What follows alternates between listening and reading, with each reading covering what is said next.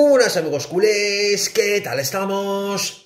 Se confirma la limpieza total en el Barça para la próxima campaña.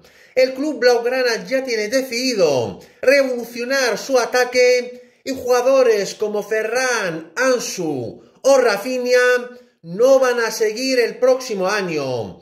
Tampoco tiene asegurada la continuidad Ousmane Dembélé.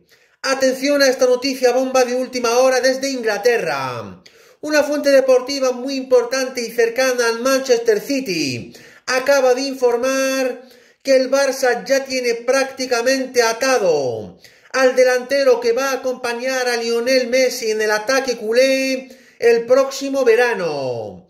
Se trata de nada más y nada menos que del superdelantero argentino y campeón del mundo con la albiceleste Julián Álvarez. La araña ya ha dado su visto bueno para jugar en el Barcelona la próxima temporada por las pocas oportunidades que está teniendo en el City este año, que apuesta claramente por Haaland como titular indiscutible.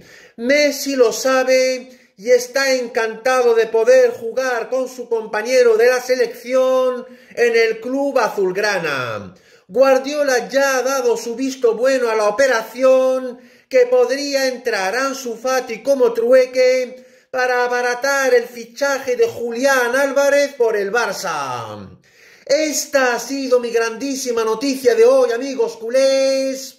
No os olvidéis suscribirse a mi canal, que no os cuesta nada, pulsar un like como siempre y dejarme comentarios para cambiar opiniones.